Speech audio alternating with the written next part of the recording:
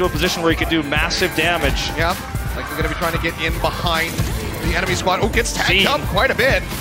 Teleporter straight in, over onto the point. There they go. Just the one tick is all that they need. The With wave. charge, RCK makes his way over. They're still taking this one up. Somebody's going to drop down. They finally managed to do so. But Ochi, he is so very low. They move up the point for just a second. And San Francisco Shock will take An incredible Symmetra strategy. They teased the Orisa comp. They knew they were going to be running the Orisa defense just like they did before.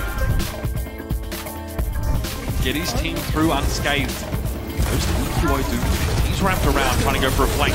Amplification Matrix is thrown down a symmetrical wall in front of this one would be absolutely devastating, but they hold on to it for now. DM doesn't have it yet. Here it is though, thrown up, and they've already lost two. The Deflect from Ichiwo. That might have been what saves Philly here. It gets in. DM eventually removes him though. Staying charged up now as there are plenty of barriers for him to keep that beam on. Carpe tries to step up. He gets hosed down by DM. Oh, my. Oh, this is all sorts of wrong. DM finally pulled in the hold, gets him now. Gravitic Flux to knock him into the air, but he sees Neptuno. He's so low. Poco saves the day, doubles down now. Oh, four and one. We had it up there. I, did, I wasn't picking up on it, but it's been a struggle for Dallas on this map. But they do lead the series, one to zero already over the streaking Valiant. Dallas trying to uh, get some more wins on the board. Oh, buddy. Sim flank, Oh, buddy. And now Sim goes back home. You've done your job. You've done your job. Well done. They have no idea. You kind of almost have like two Zaryas out on the field, except like Sherport can get charged up much faster. Uh, see, that's going to be the Sim Ultimate, so that's the Photon Barrier as they push onto the point. I mean, look how powerful it is. The Seoul Dynasty, if they want to interact with the Gladiators at all, they have to step forward. They might just be forced to wait this out or wait for Fissure. And that seems to have been the plan. Fissure comes in, gets his Aya bubble pretty much instantly, but there's a Transcendence in over the fight. J-Hawk responds, gets one of his own. Fissure's down. Tank battle won by the Gladiators. Now the charge on out, and well, look at J-Hawk being forced away from his team. They can't benefit from the healing. Flatter falls flat as the charge connects and J-Hong's all alone. The Gladiators, the Symmetra play, the dream is real. secure those kills, unfortunately. We talked a lot about the Boston side of things, but Justice are still running this Symmetra. High damage output and longevity on the point. If you can get in there and get those turrets up, Teleporter can get them in there, but there's so much damage output, you don't really want to port into this one. You want to take it slow, push in very carefully. Well, Teleporter just going to be deleted there off the bat. Blizzard going to be used by Stellar, but Washington Justice successfully go ahead and pull back, eluding that ultimate. Now looking to set up the wall, goes ahead, slaps that one down as they start advancing. Barrier going to be broken, main wall comes in, but Persia's going to be the first one to fall. Quickly they're able to trade back, remove Giannis from the game, and now Colourhex and Fusion both going to be taken down. Corey is just ripping people to shreds. Waiting for the engage from the charge, and they just TP right up to the point. No problems there. JinMu kicks it off with a kill on Rio, so they're already down a tank on the side of the charge. But Eileen can turn it around. This is what the Fist is capable of. He can get the kills just like that. YXL, though, still showing some fight. That might be the difference maker, and they will find the first point here. The Hunters, one point on the board. They've got everything they could possibly want to work with. And here it is. The Sim Nightmare gets so charged up on a shield. They got an early kill, and then just, you're kind of just one touch.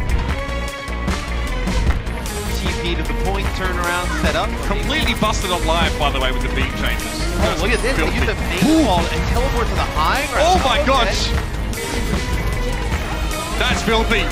Space getting rid of Colourhex early just makes things even worse for the Uprising. KSF's got to be hitting really hard after spending some time on that shield fusion. Melted! Still alive, but only for just a moment. I was gonna say you start getting the sim, the primary fire on some of these barriers, and you can just start chunking players down. I mean, Oh god! Somebody stuff. stop this guy! Ah, so you're in a good spot. Ooh. BA Symmetra shield comes in from Babybay, puts it right down the center of the point. Just lets you advance without taking any poke damage. This is ideal. Amplification Matrix had to be used there. It's going to get taken down now. Gator gets rid of Sinatraa. And Look at this. The shock try and get aggressive. Perhaps they think this is the answer. But Babybay is charged up, sitting in the background, and no one's paying him much attention. He gets rid of the supercharger, and he's going to teleport in. Oh, this guy is absolutely mad. He chases down Violet, and the damage from behind. So much damage. The beams, baby! Violet gets taken down by Erster, coming in with a meteor strike. But the Symmetra, the big difference maker here. Never thought I'd say that. But here we are. It's 2019, and she is dominating. They're working on compositions and strategies that might be viable in the next patch, which I think is the reason you're going to see some Symmetra from this Atlanta Reign team. Again, they're in the playoffs, they're just trying to lock up their top six, so after you take a round on control, maybe you just mess around and try to work on what you're working on. You still kind of want to win this one. Yeah, you do. You got the sim wall down. Two kills coming through. Make that three. Atlanta Reign running away with it. Coming right back into this fight. They're not going to waste any time at all in trying to flip this point. Dallas Fuel now going to turn into a stagger as they try and just get every point percentage they can. But it will get flipped. 41% is where it ends for Dallas Fuel. God, they're going to be there very fast. The Eternal won't have seen this. Attack Visor as well on board. Yeah, this could be scary. They've got to do something about this one. And real quick, Baconjack with the tactical visor. EMP nicely employed there. That's going to shut down a lot of the setup that the Hunters tried to erect. They take a step back. Finzy's mech is removed though. Looks like they want to commit to this. It's possible we see a switch up there. Also actually goes for a very large wall across the point here. What do they get out of it? Going to be an Amplification Matrix as well. Cruiser's immortality field has been taken down. Cloudy also falls to Elsa. Chengdu just refused to play the game like anyone else, and it is fun to watch. Kruise down, Shadowman missing Elsa is charged up and ready to rumble. He's doing so much damage right now, and with the teleporter, he's using it just to reposition himself. Oh my god, this guy is just tearing Paris Eternal to shreds. Fully charged, doing absolute max damage, and the Paris Eternal are dumbfounded.